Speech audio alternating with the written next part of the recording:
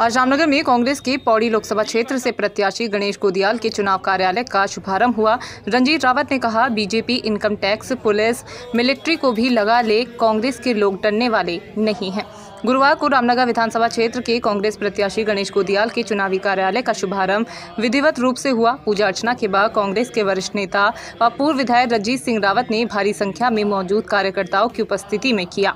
उन्होंने कहा कि पार्टी हाईकमान की ओर से पौड़ी संसदीय क्षेत्र से गणेश गोदियाल को प्रत्याशी बनाया गया है। उन्होंने कहा कि चुनाव को लेकर कांग्रेस और उसका एक एक कार्यकर्ता पूरी तरह तैयार है। उन्होंने कहा कि आज भाजपा में घबराहट हो गई है, जिस कारण भाजपा के लोग कांग्रेस के वरिष्ठ नेताओं और कार्यकर्ताओं से संपर्क कर उन्हें अपनी पार्टी में शामिल कर रहे हैं।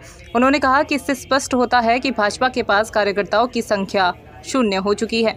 उन्होंने कहा कि भाजपा के लोग कांग्रेस प्रत्याशी के यहाँ इनकम टैक्स का नोटिस देकर बेवजह परेशान कर रहे हैं। कांग्रेस के पूर्व विधायक रंजीत सिंह रावत ने कहा कि भाजपा के लोग चाहे कांग्रेस के लोगों को इनकम टैक्स का नोटिस भेजें या ईडी की कार्रवाई कराएँ या पुलिस या फिर मिलिट्री को पीछे लगा दें।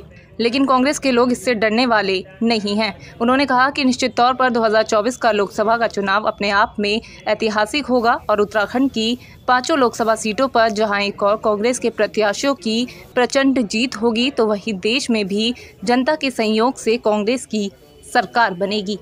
हमारे पौड़ी लोकसभा क्षेत्र से पार्टी के उम्मीदवार गणेश गोदियाल जी हैं। उनके आज इस विधानसभा क्षेत्र के चुनाव कार्यालय का हमने शुभारंभ किया है और हमारे कार्यकर्ताओं की उपस्थिति और उनका जोश जो है, द्योतक है इस बात का कि हम इस चुनाव में पूरे मनोयोग से, पूरे जोश खरोश से जो है इस चुनाव को लड़ने जा रहे हैं और निश्चित रूप से जीत दर्ज करेंगे।